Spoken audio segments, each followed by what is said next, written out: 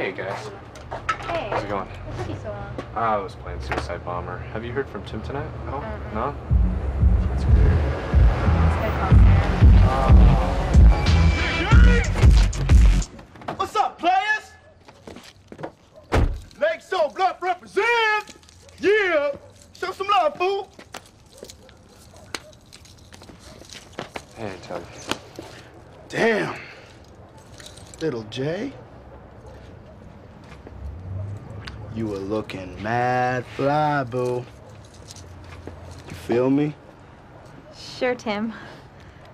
I just bounced from this mad, crazy, ill party, dude.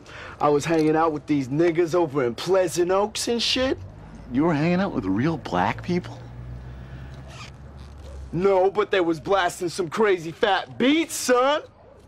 They was pouring out some Cristal, breaking off some Endo smoke. You know what I'm saying? Just wilding out. Yeah. Yo, I'm gonna score me a bag of Doritos. Y'all straight? Yeah? All right. Code 2, code 2, intersection of 12th and Grant. We have visual confirmation on the suspect. Uh, this is Unit 1. Hit it. All possible units, please respond.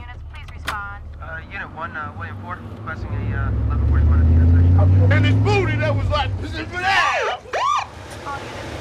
please stop flowers. Yo, what the fuck is this? Uh, copy that, uh, 1049. What's going on, officers?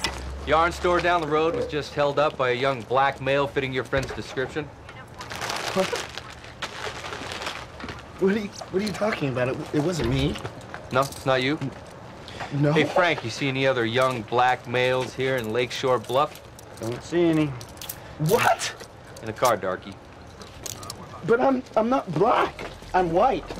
My whole family's white. My dad's Irish. My mom's Norwegian. We go to the Fourth Avenue Lutheran Church where I, I help with the bake sale every Sunday. Settle down back there, chocolate. Let's stand right over here. Don't worry about anything. Nobody can see you. Now, I just want you to point to the perpetrator for me.